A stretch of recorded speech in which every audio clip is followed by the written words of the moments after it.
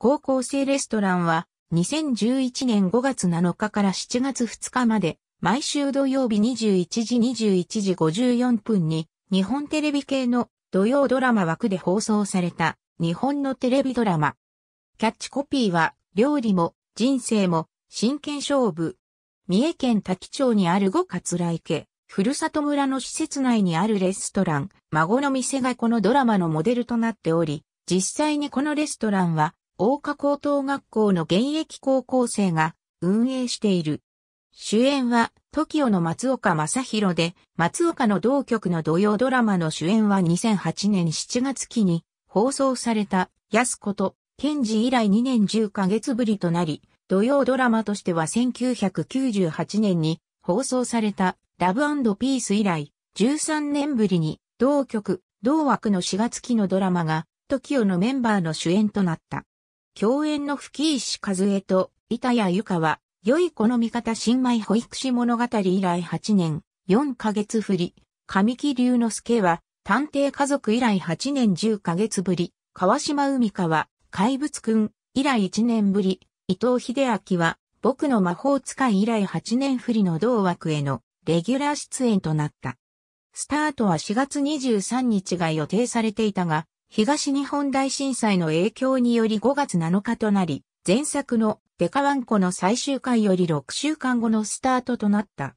銀座の一流料亭の板前、村木慎吾は、幼馴染の町役場職員、岸野博に頼まれ、出身地、三重県にある愛川高校の臨時教師となる。岸野は町おこしの一環として、高校生レストランをオープンさせようとしており、慎吾は調理指導を頼まれたのだ。調理クラブの部員は30人ほど。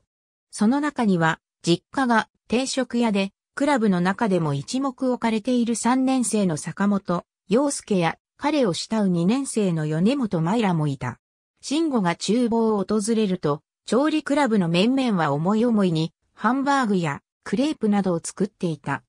だが、床は汚れ、食材は無駄に使われ、まるで文化祭のりだ。それを見た慎吾は挨拶もそこそこに、まずは掃除だ。嫌なものは帰っていいが、その代わり明日から来なくていいと部員たちを叱りつけ、その態度に生徒たちは次々に出て行ってしまい、残ったのは、洋介と舞を含む約半数の18人だった。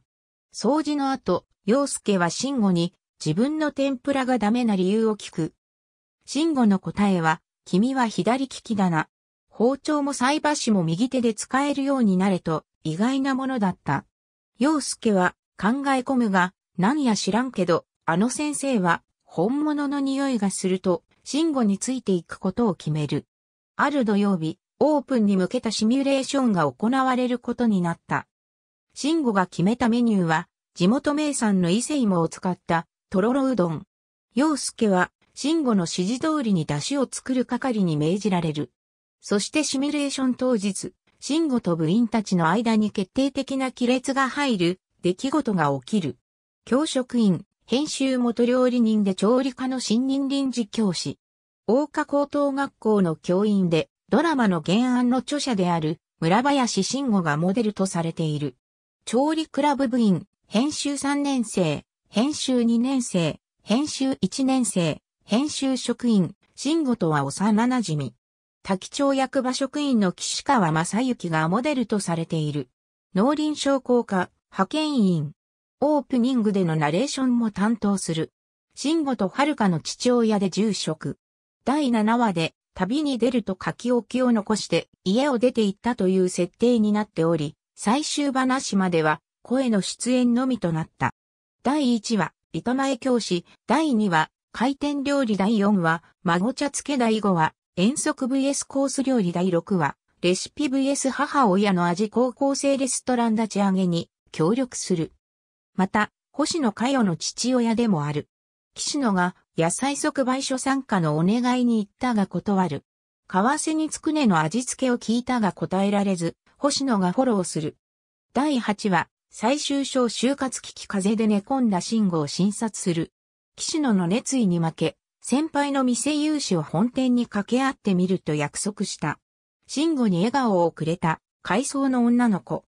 最終話、夢は叶う著者の村林は、大花高等学校の食物調理科の教師であり、実際の孫の店を運営する調理クラブの顧問でもある。2011年9月28日に DVD ボックスが発売された。ありがとうございます。